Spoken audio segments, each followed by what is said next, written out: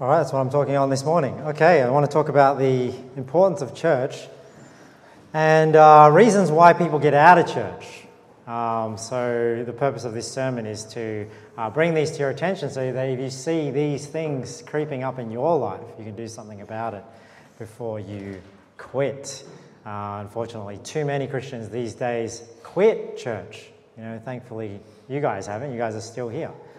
Um, but let's talk about some of those reasons today. But before I get into that, church is so important to your spiritual life. Don't underestimate how important church is. Some people will say things like, oh, well, can't you just learn the Bible at home? You know, can't you just do things on your own? Yeah, well, Jesus says, where two or three are gathered together in my name, there I am in the midst of them. There's something different about when you come to church, you know, where there's order and there's Bible preaching and there's singing. The Spirit of God is here with us. It's so important in your spiritual life. Look at what it says here in Hebrews 10, verse 24. And let us consider one another to provoke unto love and to good works, not forsaking the assembling of ourselves together, as the manner of some is but exhorting one another, and so much the more as ye see the day approaching. You know, the Bible describes the church as the pillar and ground of the truth. You know, that doesn't just also that means that the church, you know, upholds the truth as a pillar, but it's also the ground of the truth. Why is it a ground? Because this is where Christians can get planted in and grow as a Christian and become a fruitful tree. You know, some people will think to themselves, well, you know, oh, I can, I can grow. I don't need church to grow spiritually. And you know, like everyone that I know that has said this has gotten worse in their spiritual life. I mean, show me somebody that's out of church that thinks, oh, I don't need church to grow, and then tell me if there's somebody that's like more or further along in their Christian life or further back in their Christian life. Right? You don't grow because, you know, the Christian that says, you know, I don't need church to grow, or I don't need to be in church. I can still learn. They, it, it's, they might grow a little bit, but then they remind me of like that the, the plants on my my my uh, my wife's uh, windowsill in the kitchen. You know, when you put a plant like in a little cup, and then you put a little bit of water in it, and, and you know, it grows a little bit of leaves and just a little bit of roots, and you're like, ah, see, there's growth. But God doesn't want just this little plant on the windowsill that's growing some roots and some leaves. Like, God wants a fruitful tree. And you're not going to be like a fruitful tree if you're just outside, not planted in the ground and put your roots in and get, get some actual sustenance, right? In terms of growing and serving in a church.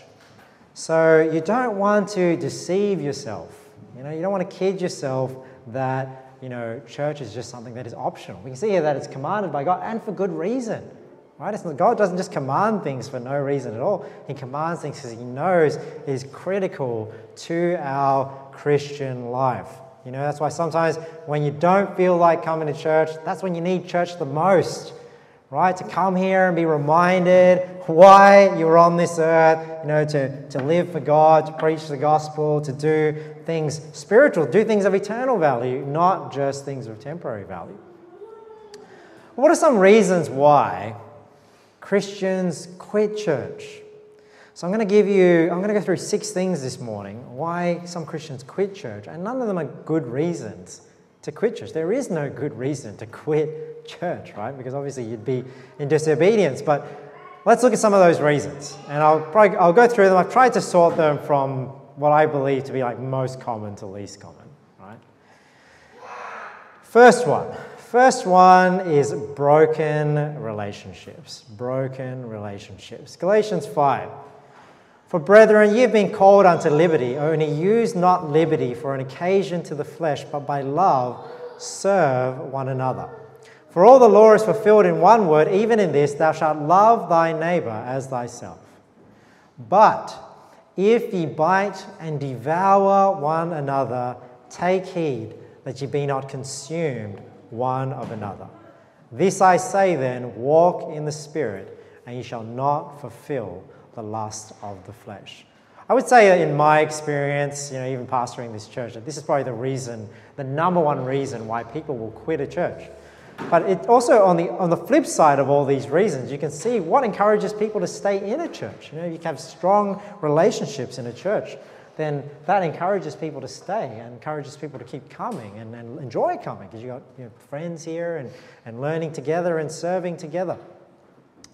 But when there is personal conflicts, you know, it, it, it can have such a detrimental effect on the church and on people staying in church. Now, is it a good reason for people to quit church? Of course not, right? Like, you know, people expect sometimes they come to church and they think, you know, well, these are Christians. These people are, you know, should be perfect. These people shouldn't do what you know, the world does. And I agree with you, they shouldn't, but will they? Yeah, they will. And if you're in a church long enough, you'll probably step on somebody's toes or somebody's toes, you know, will step on your toes, you know, because we're just people. And when people spend enough time together, they may get on, get on each other's nerves. This is why love is so important for us to love one another, right? And to try and get along and to be able to forgive and to forbear one another's, um, you know, things that we, we suffer one another, you know, even though you maybe have you know, be wronged and you know, you may uh, need to learn not to be so offended, right? Because conflict is, is so detrimental to unity and peace. I'm sure, you know, so many uh, marriages break up these days, and so many people come from broken families. I come from a broken family. You know, it's, a, it's a terrible thing these days. But for those of you who do have experienced, you know, like a marriage breakup, you know what it's like. You know, it's, uh, you know, there's two people, they don't like each other, and then they're trying to get family on their side, and then they're saying nasty things about the other person, and then sometimes it's like, you know, there's like a wedding, and they can't even be in the same room together. And it's just like these two, everyone has to work now, work around these two people that are like at odds ends with each other. And all of us know that happens in, in marriages, when marriages break up. But the exact same thing happens just when like any sort of conflict breaks up. You know, so even like, you know, when two people are dating and then they break up, you know, then now one of them doesn't want to come to church because it's too. So there's all these things that happen, even with like, say, friendships. You know, let's say you, you, you somebody's nasty to somebody else and now they've sort of broken that friendship. That same dynamic happens, doesn't it? Where people are like now trying to get each other on their side and say nasty things about the other person.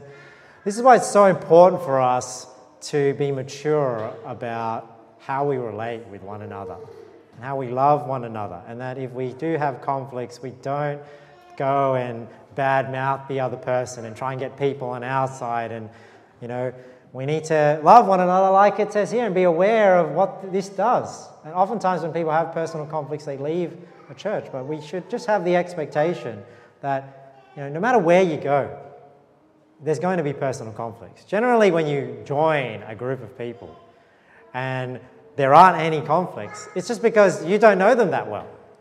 You know, just that sometimes just shows your level of involvement with that group of people. Because when you are, when you do get involved and you had a vested interest in what the group is trying to accomplish, that's when you know, sometimes people will clash just personality wise, or they might say something to one another that isn't so favorable, and then it goes like that. So beware of this. This is, a, this is a big reason why people get out of church, but it's not a good reason. You know, if anything, as you go through conflict in your life, it's a way to grow because now you have an opportunity to overcome that conflict. Sometimes people, they come across conflict and then they leave. And then they go somewhere else, they have another conflict, and then they leave and they leave. And they just keep running away from that. You'll never learn to deal with conflict and overcome conflict if you just keep running away from it. So, this is why it's important as well to be in church, and even though if you have some conflicts, to come back to church and learn to deal with it. Learn to be able to say sorry. Learn to be able to approach somebody and talk with them. Learn to, you know, put the ball in their court and let you do everything you can to reconcile. That's the sort of attitude we want. And it's a good measure of spiritual maturity, how somebody deals with conflict. But one thing I want to want you to reflect on here is just, you know, conflict is a very detrimental thing to any church and to any organization. James 3:5. Look at this. Even so the tongue is a little member and boasteth great things. Behold, how great a matter a little fire kindleth. Is the Bible talking about our words and what we speak, like not just the tongue organ itself. Obviously, the tongue is representing the words and how we use words and how detrimental they can be, how damaging they can be. And the tongue is a fire, a world of iniquity. So is the tongue among our members that it defileth the whole body. See, your, your, what you say can be defiling to your whole self, right? And setteth on fire the course of nature and is set on fire of hell. For every kind of beasts and of birds and of serpents and of things in the sea is tamed and hath been tamed of mankind, but the tongue can no man tame. It is an unruly evil full of deadly poison. So we've got to be aware of that. And unfortunately, you know, when people have broken relationships, you know, they get out of church, but you shouldn't. You know I mean? Just because you have a conflict with somebody else or even a breakup. You know, this is why sometimes when, uh, you know, people within a church, and I've seen it in other churches I'm in, where they date and they go about it the wrong way and then they hurt each other and then they break up it doesn't work out. And now one feels like they, they can't go to that church anymore because it's too embarrassing for them or they don't want to see that person anymore. And, and that can happen in any sort of relationship. It's not just dating, it's marriage, it's friendships, it's even business relationships too. You know, so that's why you have to be careful about how you go about relationships. And you've got to think about how is this relationship? I've got to go about it in a way that's pleasing to God. And, you know, if, what happens if it breaks, breaks up? You know, so yeah, that happens too. Either it's an employee and uh, employer, or maybe it's two people in a church decide to go into business together, and they just think like, "Oh, we're both Christians. We can do this business together." No, you have to sometimes be more diligent about how you do business together with people that you have relationships, you know, outside of business, which is in church as well, and how it's going to affect that. And oftentimes, when you have a business deal go sour and it's somebody that's not in church, at least it won't affect your spiritual standing as well in terms of like how you uh, may relate at church. So, broken relationships, that's a reason why people quit church. Not a good reason, but that is uh, one reason why people get out of church. Number two, reasons why Christians quit church. Number two is wrong priorities. Wrong priorities. Now, how does wrong priorities manifest itself in our life? You know how it manifests itself? I'm too busy. That's how it manifests itself. So I'm too busy to go to church. I'm too busy. I've got too many things going on in my life. Now, everyone has 24 hours in the day. There's, there's enough things to do in this world to fill our schedule. Our schedules will always be full. So, this is why it's, it's never a case of being too busy. It's always a case of just not having your priorities set right. Because when things are very important to you, you'll make the time to do them. And that's why when it comes to the things of God, oftentimes when people are too busy to do the things of God, it's just that it's not high enough in your priority list. There are things higher in your priority list than making sure the things that God expects of you are done in your life. Look what it says here in Luke 8. Uh, this is a, a verse from Jesus explaining the parable of the sower. So the parable of the sower, you remember there was a few scenarios, seed that fell by the wayside, stony ground, and then on thorny ground, and then on good ground. So this is Jesus' explanation of the seed which fell on thorny ground, right? And the explanation is, you know, that seed is obviously the Word of God, the ground is our heart, and how our heart responds to the Word of God will either, you know, people, some people are not saved, some people are, you know, fall on stony ground, and then the thorny ground is what he's describing here and why people are not as fruitful in their Christian life as they could be. Luke 8:14, and that which fell among thorns are they which, when they have heard, go forth and are choked with cares and riches and pleasures of this life, and bring no fruit to perfection. So it's a lot of cares in our world. These are like our responsibilities and concerns and things that we are you know, concerning ourselves with, those sort of cares. Obviously, chasing riches, thinking of work and employment and people starting businesses and just working you know, six, seven days a week and not having enough time and energy to come to church. Or maybe it's just pleasures, just like holiday, too many holidays, and just like always spending time enjoying this on the weekend and that on the weekend and going here and going there. Oh, the weather's good, so I'm going to go to the beach on Sunday. Because I couldn't go on Saturdays, So I'm going to go to the beach on Sunday, and I'm not going to go to church. And then, you know, you get into the habit of skipping church, you have the wrong priorities, and eventually you get out. So this comes in the form of, like I said, too busy. Work, pleasure, and even just fam- obligations for family, friends, girlfriends, boyfriends. You know, I don't think Christians should do the whole boyfriend girlfriend thing like the world does. You know, boyfriend girlfriend thing is uh, you don't just you know pretend to be married when you're not married. That's pretty much what boyfriend and girlfriend is. Um, you know, I would just consider boyfriends and girlfriends just friends that are you know talking about whether or not they should get married. But what's interesting about these thorns, these thorns, they're like weeds, you know, weeds in a garden. And if uh, you're trying to grow some plants and your garden is just overcome with weeds, it chokes that word, right? Chokes that plant so that it can't grow and bring forth fruit. Now, I don't know about in your gardens, but in my gardens, just weeds, you know, just going rampant sometimes. you know, just going all over the place, right? I'm trying to take some tips from John and grow my grass to choke out the weeds, but I'm not winning that battle yet. but just like weeds in a garden, you know, these other priorities in your life and just other obligations, they multiply as well. You know, just things you got to go to, events you got to go to. So, you know, that's why it's not about having not enough time or being too busy. It's about priorities, it's about setting limits. It's about being able to say no to things. Because you know there's always going to be that cousin's son's birthday to go to and that old friend who's getting married and then, and then it just grows and grows and grows because as you get older your network gets bigger and bigger and bigger right? People having more children or more, more nephews and nieces and second cousins and third cousins it just keeps going and you just going keep going along all these family events and you know i gotta go i gotta keep face. Well yeah you can go to them but you got to set your priorities right, that you're not neglecting things you ought to be doing in your life, quitting church for the wrong priorities. Sometimes you've got to know what to say yes to and what to say no to. Right? So it's not about time, it's about having priorities, setting limits. And if you're not careful in your life, these riches, these cares, pleasures of this life they will just grow and multiply and multiply, and they'll just choke the word out of your life, right? God's word that says, Don't forsake the assembling of yourselves together. You know, go into all the world and preach the gospel to every creature. You know, have you not read? You know, it's written that man shall not live by bread alone, but by every word of God. Like these are some things you need to know. Pray without ceasing. You know, these things in your life. And these things get choked out. Why? Because you're too busy.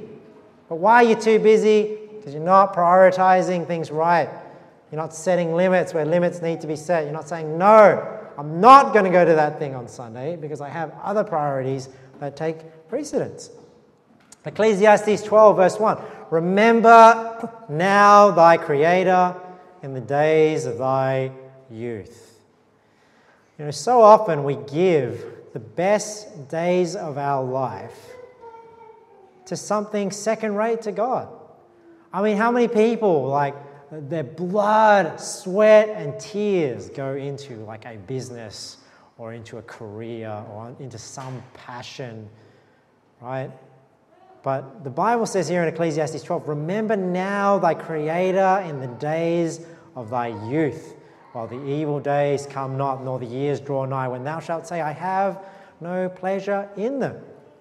Matthew 6:33, but seek ye first the kingdom of God and his righteousness, and all these things shall be added unto you. See, we ought to give our best to God. We don't want to spend all our youth chasing our dreams, chasing everything that we want to do. And then when we're old and we don't have the energy to do those things anymore, we're like, okay, now it's time to serve God. Well, you're not going to have the same energy and mindset and passion that you would have had if you served God when you had your youth still with you.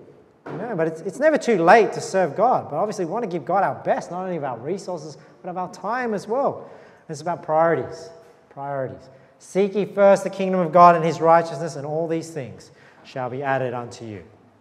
So, if people quit church because of broken relationships, people quit church because they have the wrong priorities, right? And you get out of church, you keep skipping church, you keep skipping church. It's easier to skip church, right? And eventually you just get out of church right? You haven't built good relationships, nothing keeping you in church anymore. That's the reason why people get out of church. You've got to be aware of these things. Number three is worldly influences. Worldly influences. Now, there are some sins that would just make you not welcome at church. We're not talking about those, but we'll read here from 1 Corinthians 5. 1 Corinthians 5, these are not sins, reasons why people quit church, but these are reasons why people are not welcome at church. Uh, verse 9 I wrote unto you in an epistle not to company with fornicators, yet not altogether with the fornicators of this world, or with the covetous, or extortioners, or with idolaters, for then must ye needs go out of the world.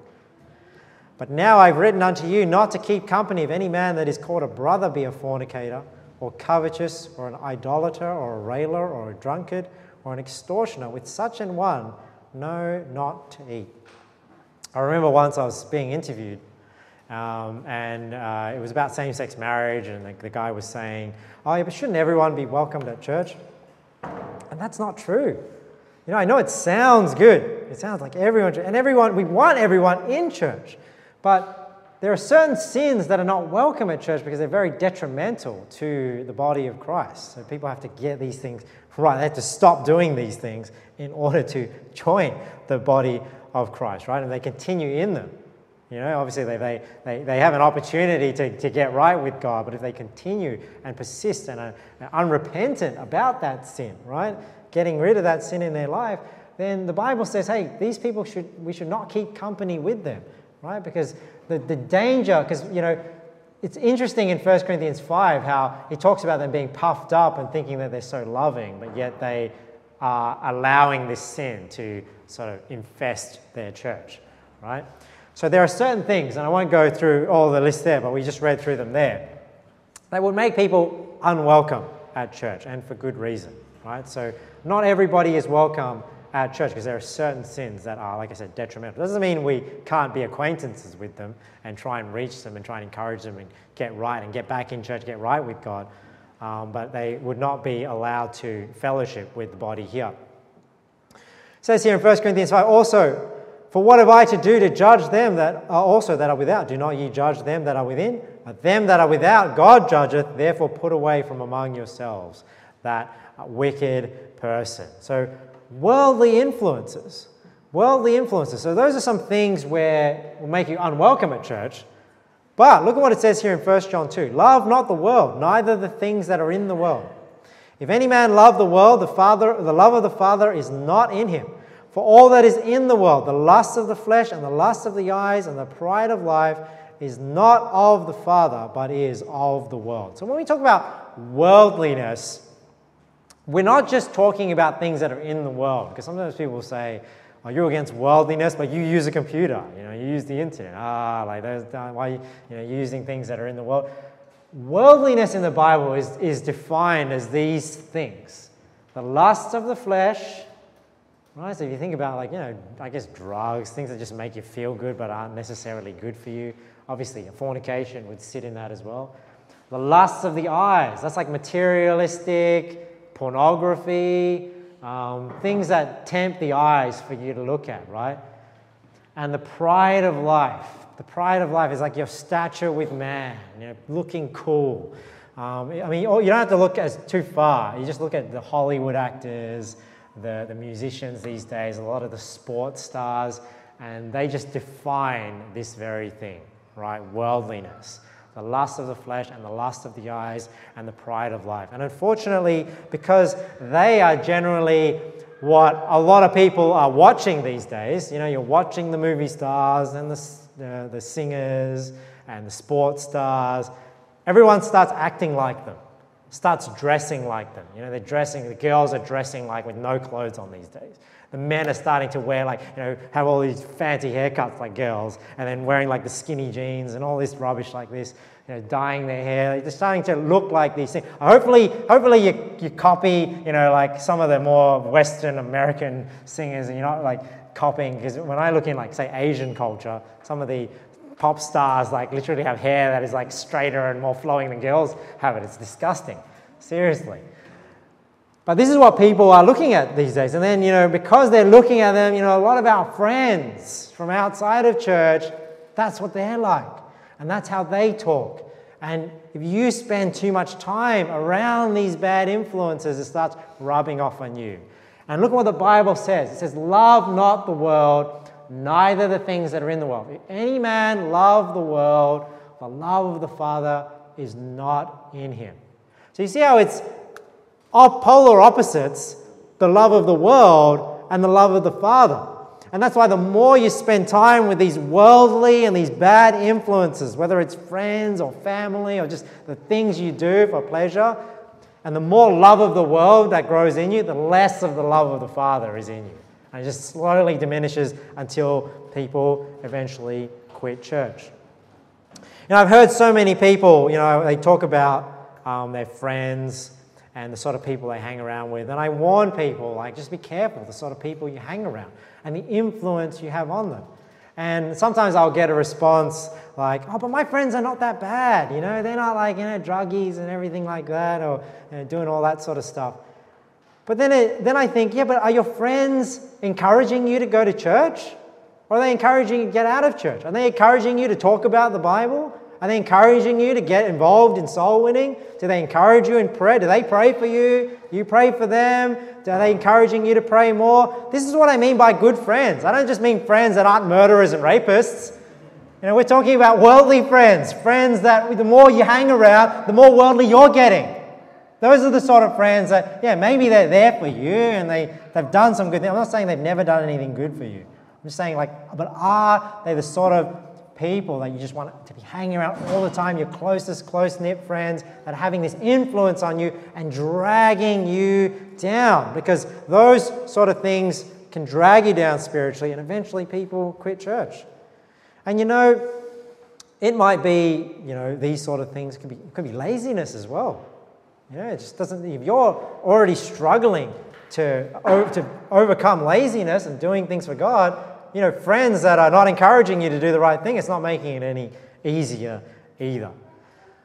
So we want to be aware of these sorts of friends outside. I'm not saying that you just cut them off completely, right? You still want to be able to have an influence in their lives, but it's the, it's the, the, the amount, it's the balance, right? If it's overbalanced, too much balance on that side, it's going to pull you in the wrong direction. Now, just like we don't want those sort of friends outside of church, we don't want to be that kind of friend in church either.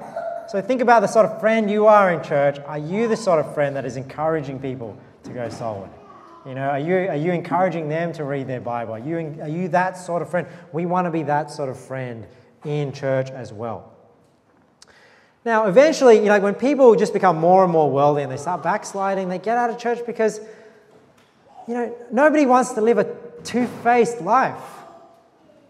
You know, you can only last so long coming to church, pretending that you've got it all together, but really you don't give two hoots about God outside of church. You know, you don't want to be like a modern day Pharisee where you come to church and you pretend to be spiritual, you pretend to care about the things of God, but in your life you don't care, you know, and you, you know, sometimes people like, you know, the, the way they dress and they act, it's like that at church, but then when they're, when they're at their workplace, it all goes to, to nothing. You know, you're swearing at work and you're joking about the wrong thing, and you go out with your work colleagues and you're dressed in like the mini skirts and all, you know, all the stuff. You want to be the same as you are outside as you are in church because eventually it, it, you won't be able to just keep it up, and that's why people eventually quit. Look at what Jesus says about the Pharisees here. Woe unto you, scribes and Pharisees, hypocrites, for you make clean the outside of the cup and of the platter, but within they are full of extortion and excess. Thou blind Pharisee, cleanse first that which is within the cup and the platter, that the outside of them may be clean also. Woe unto you, scribes and Pharisees, hypocrites! For ye are like unto whited sepulchres, which indeed appear beautiful outward, but are within full of dead men's bones and of all uncleanness. Even so, ye also outwardly appear righteous unto men, but within here full of hypocrisy and iniquity. See, that's what Jesus had to say about the Pharisees. But, you know, a lot of Christians, unfortunately, live this sort of life. And you don't want to live this sort of life. It's only going to last for so long. And that's why people that are like this, they eventually get out. You know, you don't want to be half in, half out with church because usually you fall out. So that's why. What's the solution? You don't want to be like, you want to do the right thing, you know, so that you don't quit church. Look at what Jesus says about uh, the church in Sardis in Revelation 3:1. And unto the angel of the church in Sardis write, These things saith he that hath the seven spirits of God and the seven stars. I know thy works, that thou hast a name, that thou livest and art dead. Thou hast a name, that thou livest and art dead. You know, and whenever I read that, that reminds me as well of the person that says they're a Christian, but then has nothing to show for it in their Christian life. Does that mean you're not saved? No, no, that has nothing to do with salvation. But you have a name that you live. You call yourself a Christian, but do you have any works to add to that faith? Right? We want to add works. We don't want to have a dead faith. You know, it doesn't mean we're not saved, but we want a living faith. We want a faith you know, that brings forth fruit unto God. All right, number four, number four reason why people quit church is they lose interest. Right? They just lose interest. It's not fun anymore. You know, things are always exciting when they're new, but you just need to realize this in life and grow up a bit that not everything in life has to be exciting. Right? Not everything in life has to be fun. Not everything that is worth doing is always easy. And you know, if you have that sort of self serving attitude, that's the sort of attitude people will have when everything has to be fun. It has to entertain them, it has to tickle their fancy because it's all about what it does for them, right? But you need to change your, you need to grow to a point where church is no longer about what it does for you. You don't see church as a place where you come to get something. Now, will you get something if you come to church? You will. But you need to grow to the point where you come to church and see it as an opportunity to do something for God. Right? Church is here for you to serve. It's not just here for you to be served. Right? We want to make servants of God, not just fans of God that just come and just need to get their, you know, their, their ears tickled, right? And get a pat on the back. Sometimes you need to kick up the bum, you know, to get going. And church is a place where that happens. So you want to get to the point where, like I said, you come with a mindset where church is an opportunity for me to get involved in the work of God, to be a blessing to others. And that's where it gets a lot more interesting because it gives you some purpose for being here.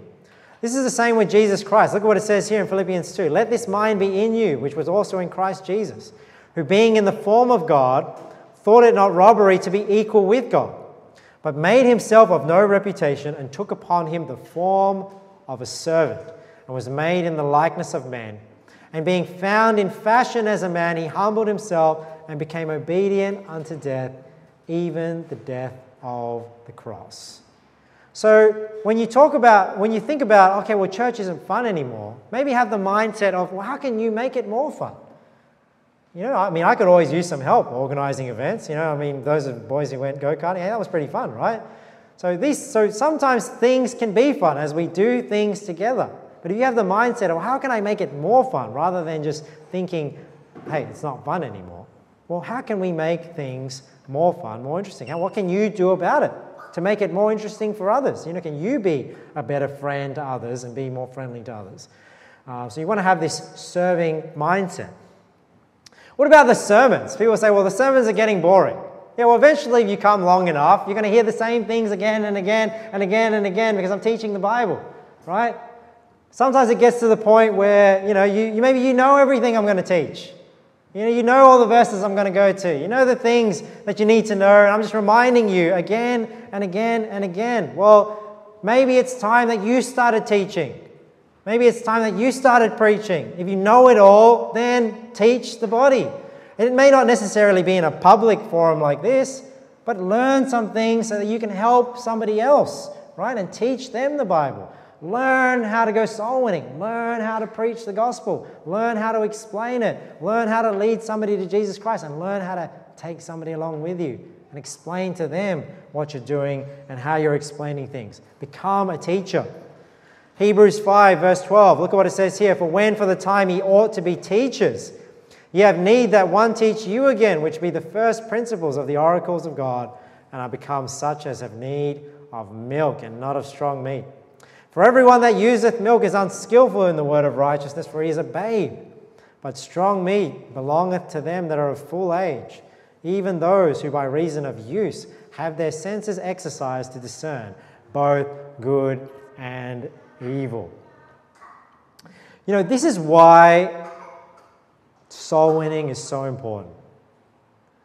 You know why? Because you will eventually get bored coming every week and staring at the same faces. It'll happen, right? Because that's not what church is meant to be about. Church is not just meant to be about going there, having something to eat, just socializing for an hour or two, and then leaving, because eventually it gets boring talking to the same people again and again and again and again, right? Because that's not what it's about. But if you start serving together, if you start having a different purpose to actually go out and preach the gospel, you know what doesn't get boring? Talking to different people all the time. Right? Different people out there, you know, talking to them and explaining the gospel to them. This is why it's so important for you to get involved in the work. And you know what? People that don't get involved in some sort of work in church eventually end up quitting right? Because it's, it's, it's not that interesting, you know, like just talking with the same people all the time, because eventually you know one another. I remember, you know, and, and when I was going to a church in the States, like I spent so much time with the guys there, because we'd, we'd hang out all the time. We even like room together. And sometimes we just sit there and have nothing to talk about, because we talked about everything talked about all the political stuff, all the controversial doctrines, and we talked about it until we're blue in the face. And sometimes we just sit there. We were like, I remember we used to go to this place called Oreganos. Well, that's how they pronounce it. We would pronounce it oreganos. They pronounce it oreganos. And we literally just be sitting there, just like have nothing to talk about because, know. So what did we do? We went soul winning together. we did a lot of soul winning together as uh, as single guys. So this is why it's important because this is what will keep it interesting. This is actually what keeps, you know, Christianity interesting. Right? Is when you actually serve, you actually have a purpose and actually are doing things. Right? You're a doer of the work, not just a hero. All right, number five. Another reason why uh, people quit church: persecution. Persecution. You know, maybe you're made fun of for going to church. Maybe you know, you're making changes in your life, and the friends you used to hang out with are going, you know, oh, Mr. Holy, Holy, Holy. You know, you'll get that as a Christian. You know, just expect it. It's a uh, have it as a hold it as a badge of honor that people are making fun of you trying to live a more righteous life than you otherwise would. You know, maybe you'll get disapproval from family and friends. You know, especially maybe from people from other religion backgrounds. You know, you change your religion, you believe on the Lord Jesus Christ, and your family is not so happy with you anymore, and they may make comments here and there. But you know, none of us really experience a lot of the things that those in the Bible have experienced in terms of persecution. So I think in terms of that, we can find comfort in the fact that we really don't have it that bad. But unfortunately, some people, they can't take that. You know, they, they don't endure through that persecution and they get out of church. Right? They don't like what people are saying about it. Uh, look at what Daniel did in uh, Daniel 6, uh, verse 7, when, um, when we think about persecution. We not only have just people making fun of us, or people maybe not wanting to associate us, but what happens when going to church is illegal? Right? All the presidents of the kingdom, the governors and the princes, the counselors and the captains, have consulted together to establish a royal statute and to make a firm decree that whosoever shall ask a petition of any god or man for 30 days, save of thee, O king, he shall be cast into the den of lions. Now, O king, establish the decree and sign the writing that it be not changed according to the law of the Medes and Persians, which altereth not. Wherefore King Darius signed the, the writing and the decree. Now, when Daniel knew that the writing was signed, he went into his house, and his windows being open in his chamber toward Jerusalem, he kneeled upon his knees three times a day and prayed and gave thanks before his God as he did aforetime. You know, as um, a lot of these coronavirus restrictions were on, we were meeting in the house. But a lot of people didn't want to come along, even though we were having church in the house. So, this is the reason. Well, what happens when church is no longer allowed at all in some countries? Are people just going to quit church completely?